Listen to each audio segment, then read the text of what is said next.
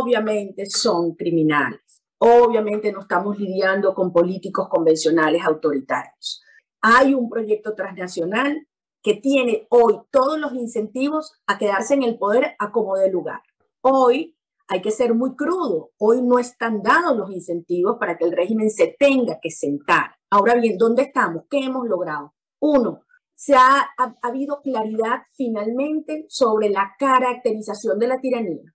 Se ha entendido que criminales hay que tratarlos como tales y por lo tanto lo que aplica es la judicialización de ese, de ese abordaje, es decir, la Corte Penal Internacional, las sanciones internacionales, la justicia y los indictments, embargo de armas. Ese es el tipo de aproximación para crear las condiciones en las cuales el régimen tenga por su propio interés, por su propia situación, ninguna otra opción que acceder. Es decir, que el tiempo lo perjudique y no lo favorezca. Y evidentemente hay que lograr, en, mi criterio, que esas acciones internacionales y esos aliados internacionales actúen en consecuencia requiere una interlocución confiable.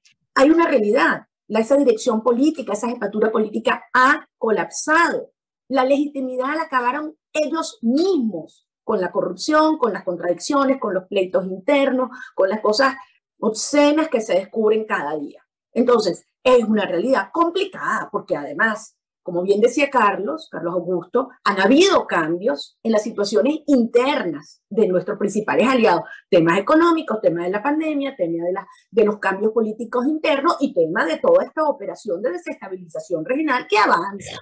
Entonces, ¿dónde estamos hoy? Señores, yo creo que mientras más rápido se pase la página de México y mientras más claro quede todo el mundo retratado el 21 de noviembre, es la oportunidad de una nueva era, de un renacer.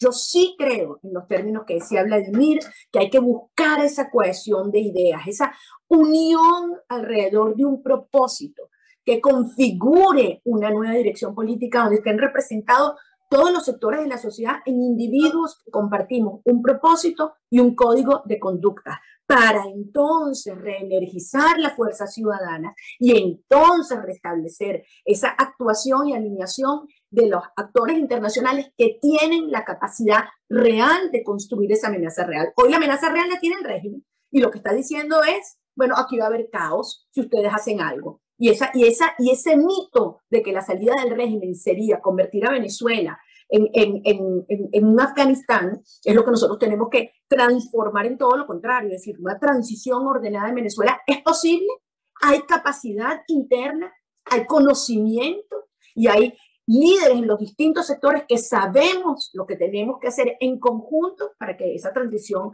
no sea reversible y que no signifique eh, exacerbar el caos, sino la transformación ordenada de nuestra sociedad. Y yo creo que esas fuerzas internas y externas existen y en la medida que se construye una dirección eh, política confiable, amplia y sólida éticamente, se activarán en la, en la dirección correcta.